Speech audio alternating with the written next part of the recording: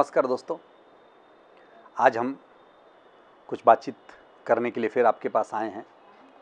आज हम चर्चा करेंगे, सफलता क्या है? सफलता कैसे पाई जाती है?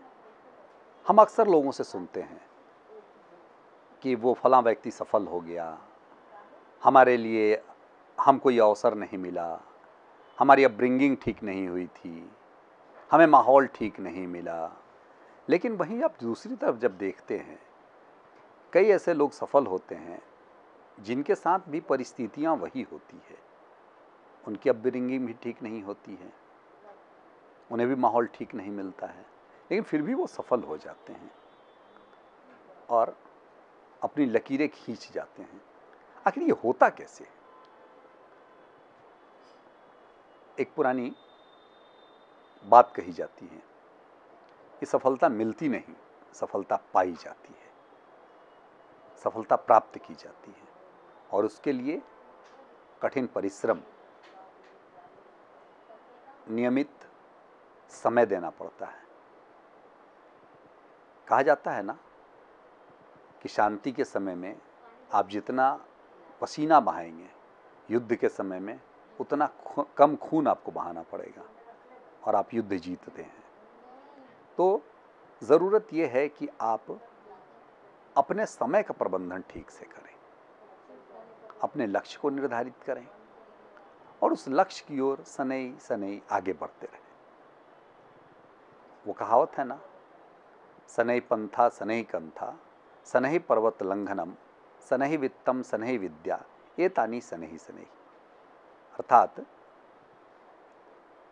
जो हमारे यहाँ पुराने में कहते थे क्या कि घर में माँ जो होती थी, दादी होती थी, नानी होती थी, वो पुराने कपड़ों का सुजनी कह लीजिए, हम लोग लेवा कह लीजिए गेनरा कह लीजिए, वो खाली समय में जब मिल, का मिलता था तो थोड़ा सिल लेती थी। और दो चार महीने में वो वस्त्र, वो हमारा कपड़ा तैयार हो जाता था। जो कोई भी आता था तो उसको हम बिछा देते थे, पलंग पे डाल देते थे, बाहर बैठना है वहाँ हम डाल देते थे। तो उसको हम लोग कहते थे कंथा, सनही कंथा, सनही पंथा। बड़े पर्वत की पहाड़ की चोटी पर भी अगर आपको चढ़ना है तो धीरे धीरे ही चढ़ा जाता है। अचानक कुछ नहीं होता है।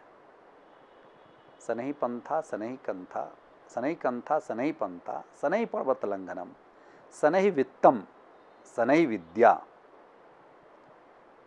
धन भी अचानक नहीं आता है। जो छोटी छोटी अपनी वित्तीय योजनाओं को चलाते रहते हैं उनके पास ही धन रहता है। हम लोग बच्चे थे। हम या आज भी बच्चों को घर में संस्कार दिया जाता है कि अपने पैसे को गुल्लक में रखो। कोई बड़ी राशि नहीं होती है, एक दो रुपये की होती है। लेकिन हमें अभ्यास, आदत दिलाने के लिए हमारे घर के लोग ये हमें सीख देते हैं कि धन का बचत करना चाहिए। धन का अपव्यय नहीं करना चाहिए। ज़रूरतों को कम करो। जितनी ज़रूरतें हैं उसी के लिए तुम्हारे पास संसाधन है। बाकी पैसा जमा करो। कभी विशेष परिस्थिति में काम आएगी। तो वित्त भी धीरे धीरे ही आता है। अब जितनी बड़ी सफलता जो बड़े वारेन वफेट हों, जो आज विश्व के सबसे बड़े धनी आदमी हैं, या फिर मुकेश अम्बानी को आप मान लें। मुकेश अम्बानी से भी बड़ा, जिनका नाम सब लोग श्रद्धा से लेते हैं रतन टाटा हैं हमारे, बिरला हैं हमारे। इन लोगों के पास एक दिन में पैसे नहीं आए हैं। धीरे धीरे अध्यवसाय करते हुए लगातार कोशिश करने के बाद इनके पास पैसे आए हैं। और विद्या भी अचानक नहीं आती है। हमारे गुरुजन बताते रहे हैं कि जब भी मौका मिले, एक किताब खरीदो और उसको जमा करो और उसको पढ़ो।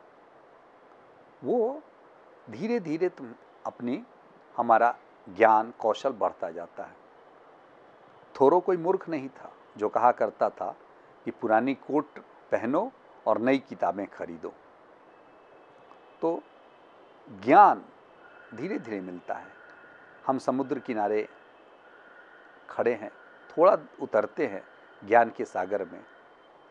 जितना हम समुद्र में उतरते हैं, बस समझ लीजिए हमने उतना ही ज्ञान प्राप्त किया। समुद्र जैसे अथाह है ज्ञान का सागर भी अथाह है। हमें उसमें डूब करके मोतियों को निकालना है। अथाह मोती पड़े हुए हैं। आप जितना डुबकी लगाएँगे, उतनी मोती आपको प्राप्त होंगे।